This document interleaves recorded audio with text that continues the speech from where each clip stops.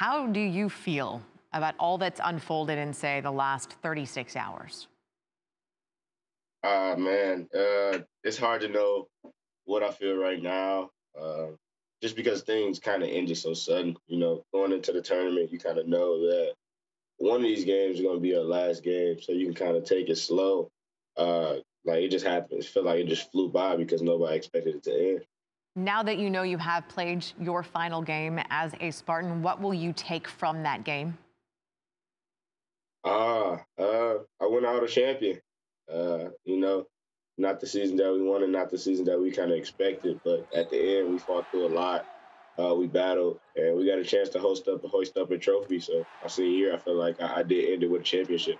I'm not sure uh, we could put into words this season for you because let's remind people that this is a season that began with the death uh, of your brother. How has that impacted sort of how you feel about what's happening right now?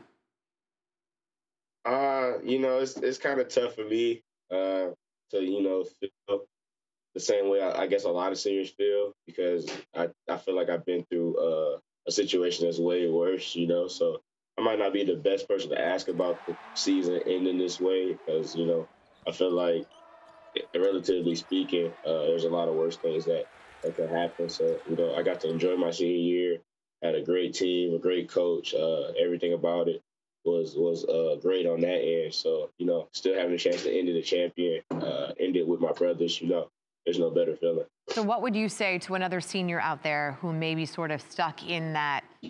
Oh, I can't believe it's ending this way. What sort of perspective, what would you say to that, that other player? Uh, I would just try to tell them to, to thank their school, thank their university, and uh, you know, remember that it's a it's a blessing.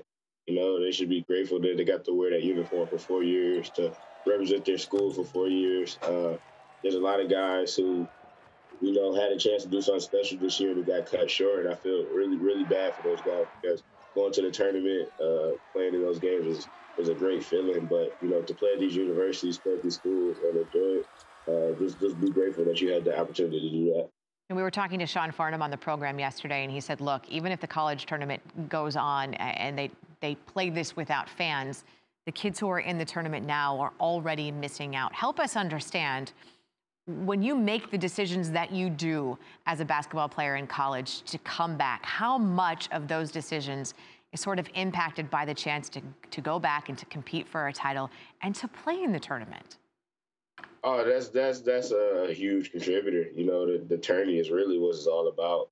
Uh, from the summer throughout the season, all the grinds, you know, all the days you have to pick yourself up and dig through, is to go into that tournament and try to make a run. There's no better feeling than all your work paying off the whole season to, to make this final push, this final run uh, in the tournament with your fans behind you, going to different places, different sold out gyms and things like that. And we had a chance to play the Final Four where we sold out a, a football stadium. You know, that's unheard of. Like, that's the things that you dream about since you were a kid. So, you know, people who robbed of that opportunity, you know, I feel really, really sorry for them.